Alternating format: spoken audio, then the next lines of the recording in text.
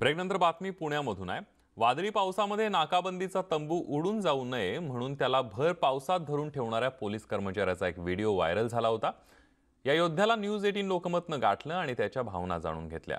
या पोलीस कर्मचाऱ्यासोबत बातचीत केली आमचे प्रतिनिधी चंद्रकांत फुंदे यांनी. पुण्यातील कालच्या वादळी पावसात सेनीपार चौकातील पोलिसांचा जो तंबू उडून चालला होता तो एका पोलीस कर्मचाऱ्यांनी अक्षरशः वादळी पावसामध्ये पूर्ण शर्थी शर्थीचे प्रयत्न करून तो थांबून धरला उडू जाऊ दिलं नाही.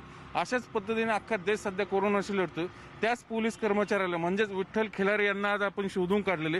ते आज अलका चौकात ड्युटीला आहेत. नेमकी त्यावेळेस त्यांची भावना काय होती आणि त्यांनी कशा पद्धतीने ही चौकी उडून धरली? त्यांचा हा व्हिडिओ स्वतः पुण्याचे महापौर मुरलीधर मोहोळ यांनी तो शेअर केला आहे सो सोशल माध्यमावरती. आणि सी पी साहेबांनी याचं कौतुक केलेलं आहे. त्यांना नेमकं काय वाटतं आणि त्यांनी त्यावेळेस ते तंबू पकडून धरला होता भर पावसामध्ये वादळी पावसात. त्यावेळेस त्यांच्या मनात नेमकं काय चाललं होतं? आपण त्यांनाच विचारा. खिला साहेब द- पहिल्यांदा तुमचं अभिनंदन. तुम्ही जी कामगिरी केली त्याचं सगळीकडे कौतुक होते काय कसं वाटतं तुम्हाला आता? थँक्यू सर मी विठ्ठल जगन्नाथ खिलारे भरती दोन हजार पाचची. विश्रामबाग पोलीस स्टेशनला एक वर्षापासून काम करतो मी.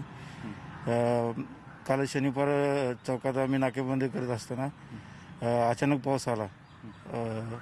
पाऊस आल्यानंतर सुरुवातीला थोडा पाऊस होता पण नंतर तो वाढत गेला पाऊस. आणि एवढा खूप म्हणजे मोकळा रोड असल्यामुळे खूप वारं सुसाट सुटलेले होते. आणि तिथं बांधलेले दोन टेंट होते आम्हाला ऊन वारा आपल्या पावसापासून संरक्षण मिळण्यापासून. ते टेंट वाऱ्याने उडत होते. आमचे नाकाबंदीचे साहित्य पण होते. माझ्याबरोबर आमच्या P S I Patil madam आणि आमच्या दोन पोलीस स्टेशनच्या कर्मचारी एक गाडेकर मॅडम आणि एक साळवी मॅडम होत्या माझ्याबरोबर. आणि लेडीज असल्यामुळे साहित्य वगैरे आम्ही तिथं वाचवण्यासाठी तिथं धरलेलो होतो आम्ही. साधारण किती वेळ तो सगळा प्रसंग सुरू होतो? तो पाच सहा मिनटं पूर्ण वादळात सुरुवातीला कमी होता वाऱ्याचा वेग पण नंतर अचानक वाढलेला होता वेग. आणि आमचे नाकाबंदीचे साहित्य पण त्यामध्ये होते. त्यावेळेस तुझी भावना काय होती नेमकी?